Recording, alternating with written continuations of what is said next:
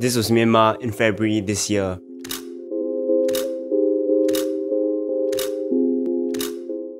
And this is Myanmar right now.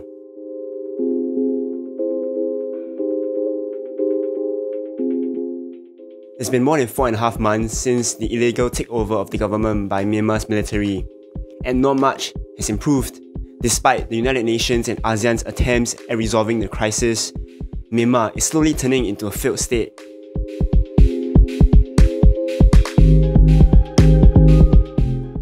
The UN isn't all powerful. With 193 member states, its powers are actually quite limited by the virtue of sovereignty and other terms and conditions around. Firstly, let's talk about the Security Council. While resolutions from the Security Council are legally binding, not much has come out from the Council with regards to the crisis in Myanmar. The Council has the right to enact arms embargo or sanctions against the military leaders, yet China and Russia continues to support the military in Myanmar, and with both countries wielding the powers to veto any resolutions in the Council, any attempts to punish the military in Myanmar remains pointless. Next up, the United Nations General Assembly. Resolutions from the GA are legally binding, and what this essentially means is that countries are not required by law to follow the demands or clauses of the resolutions. Hence, many see these resolutions as a form of political statement. Yet, this has also been really slow, especially after ASEAN's call for the proposed resolution by Liechtenstein to drop any mention of suspending arms sales to Myanmar.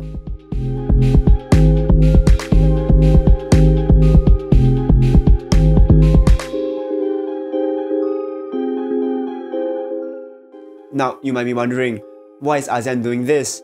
Shouldn't ASEAN be going out of its way to protect the people of Myanmar? Well, here's why. ASEAN was founded upon the need for dependence and solidarity in the region. During the difficult times of the 1960s, Singapore, Malaysia, Thailand, the Philippines, and Indonesia came together to form ASEAN to promote peace, development, and cooperation within the region. Yet, ASEAN was never about promoting or projecting a certain form of governance. Unlike the European Union, where all member states have to be democratic, there was never such a requirement for ASEAN. During its founding, Thailand and Indonesia were ruled by a military dictator, while the Philippines was ruled by a man who eventually became a dictator himself. ASEAN's inclusion of several models of government made it inclined towards non-interference and making compromises to accommodate each and every nation.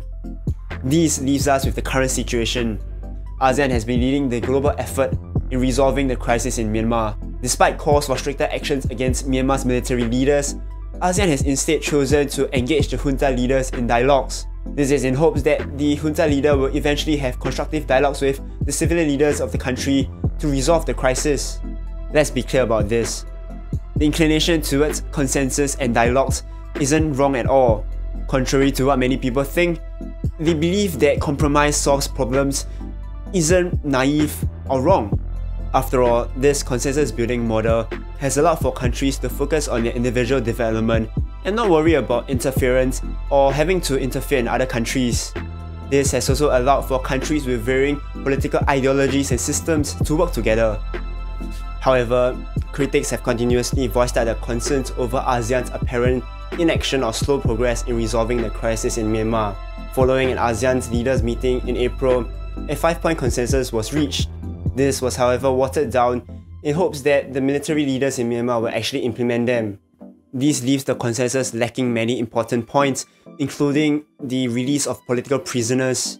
Constructive dialogues remain the main weapon of choice, and a special envoy will be appointed to facilitate the dialogue eventually. Unsurprisingly, the Myanmar's junta leader will also have to be agreeable on the person chosen as a special envoy. After a recent visit by ASEAN Secretary General and Brunei's second foreign minister, this position remains vacant. At this point in time, Myanmar's military has not taken any action to de-escalate the violence or to implement the 5-point consensus. And as for the proposed UN resolution mentioned at the start, ASEAN is hoping that by dropping any mention of the suspension of arms sales to Myanmar, a unanimous acceptance of the resolution will be reached. This is in hopes that this unanimous acceptance will pressure the military leaders in Myanmar to act. and ASEAN prefers this over any punishment against the military leaders. In an article by Human Rights Watch, Vidar Franco criticized the global response towards the crisis in Myanmar. He goes on further to state that because of ASEAN's preference for non-interference, ASEAN will never deliver on Myanmar. Critics have also pointed out the global community's failure to meet their responsibility to protect, which is a framework and a global political commitment made in 2005 to prevent war crimes, genocide, ethnic cleansing, and crimes against humanity. Specifically, the third pillar of this framework states that if any state is manifestly failing in its protection responsibilities, other states should take collective action to protect the people. Hence, this is what we're seeing in Myanmar right now. People are still going out to protest. The military is still committing atrocities against the people. The country is still in chaos. Of course, foreign diplomacy is never easy. It's far too common for people to think that one can condemn another country's actions without any repercussions. It's naive to think that problems can be solved with a snap of the finger. Yet, as time passes, we continue to see the dire state that Myanmar is in, and it's not long before people start to wonder why are the world leaders taking so long to make conclusive decisions? According to experts, at the rate of things are going, and with the slow progress by the global community, Myanmar will eventually turn into a failed state, no different from Somalia, Syria, or Yemen. And if this were to happen, I think it's really on the United Nations, ASEAN, and us. Because we couldn't help them, we still could.